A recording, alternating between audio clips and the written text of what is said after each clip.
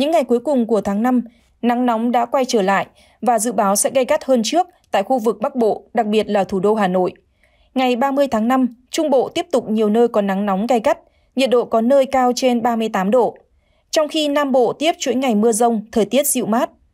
Theo dự báo thời tiết ngày 30 tháng 5 của Trung tâm Dự báo Khí tượng Thủy văn Quốc gia, do ảnh hưởng của nắng nóng, kết hợp với độ ẩm trong không khí giảm thấp và gió Tây Nam gây hiệu ứng phơn, nên khu vực Bắc Bộ và khu vực từ Thanh Hóa đến Thừa Thiên Huế có nắng nóng.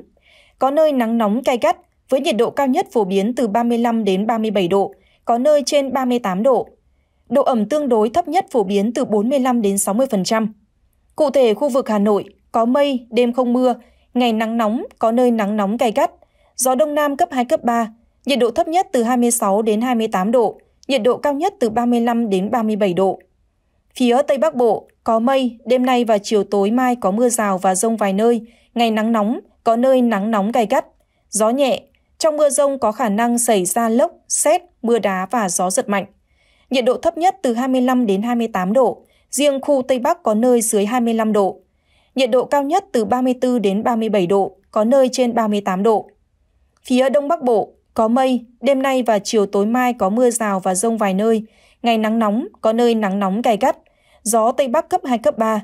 Trong mưa rông có khả năng xảy ra lốc, xét, mưa đá và gió giật mạnh.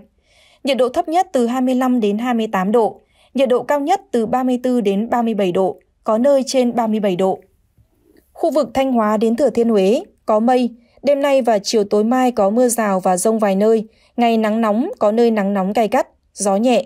Trong mưa rông có khả năng xảy ra lốc, xét, mưa đá và gió giật mạnh. Nhiệt độ thấp nhất từ 24 đến 27 độ, nhiệt độ cao nhất từ 33 đến 36 độ, vùng núi có nơi trên 37 độ. Khu vực Đà Nẵng đến Bình Thuận có mây, chiều tối và đêm có mưa rào và rông vài nơi, riêng phía Nam có mưa rào và rông rải rác, cục bộ có mưa to, ngày nắng, gió nhẹ.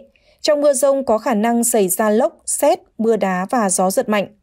Nhiệt độ thấp nhất từ 24 đến 27 độ, nhiệt độ cao nhất từ 31 đến 34 độ. Khu vực Tây Nguyên, nhiều mây, có mưa rào và rông vài nơi, riêng chiều và tối có mưa vừa, mưa to, có nơi mưa rất to và rải rác có rông. Gió Tây Nam cấp 2, cấp 3. Trong mưa rông có khả năng xảy ra lốc, xét, mưa đá và gió giật mạnh.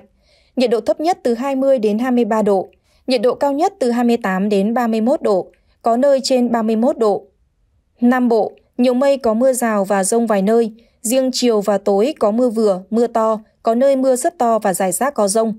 Gió Tây Nam cấp 2, cấp 3. Trong mưa rông có khả năng xảy ra lốc, xét, mưa đá và gió giật mạnh.